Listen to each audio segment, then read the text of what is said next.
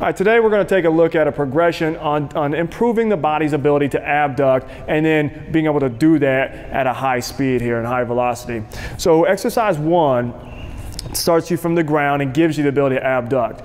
Two stands you up, makes it a little tougher three, four, and five uh, make it more dynamic, and so that we can get the most out of our, our force production. Whether you are uh, doing a lateral shuffle, whether you are driving off the mound, or whether you're coming out of a cut, the ability to abduct the hip, abduct the leg, and get full push is vital for uh, being fast in your game. So the first exercise in this series of, of teaching someone how to abduct or push off uh, out of a cut or push off of the right leg, whether you're a pitcher or uh, in any in any situations you may need to drive or abduct uh, your leg. I want to you know give you the ability to do that. So. Um, you may not be at this point, you may be able to do a higher level exercise, but this is kind of ground zero on learning how to abduct uh, your leg. So I'm gonna lay on my side, I'm gonna elevate my leg, I'm gonna reach it really long, and that abducts my hip, and then I'm gonna try to abduct my leg.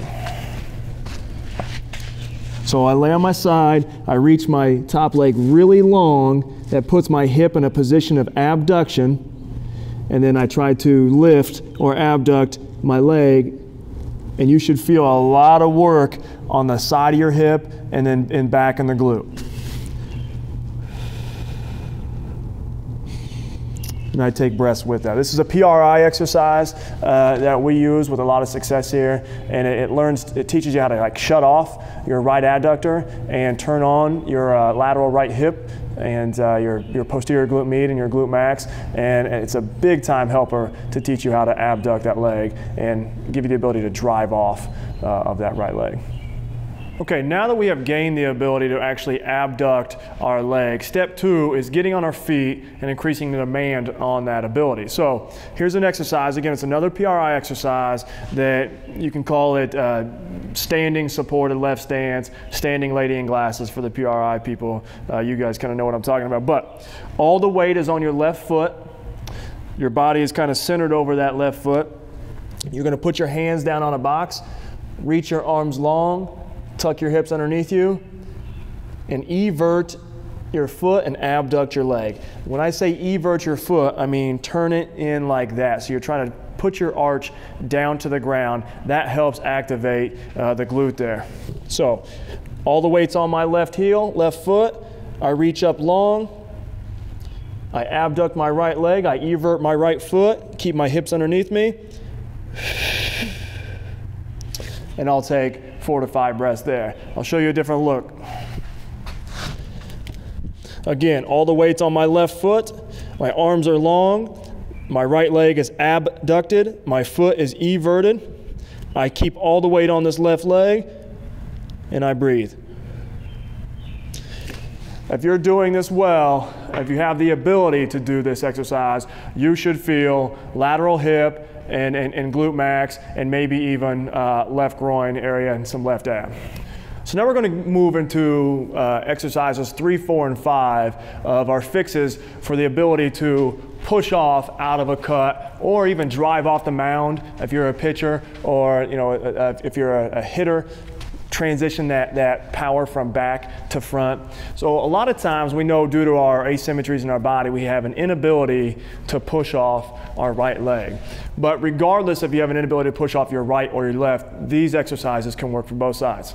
So one, once we have addressed the body's abilities uh, to actually abduct the leg and push off, we're gonna put that into action now. So First thing we need to do is you need to transition it into something maybe a little bit more slow and controlled, like a side lunge. So I may go here,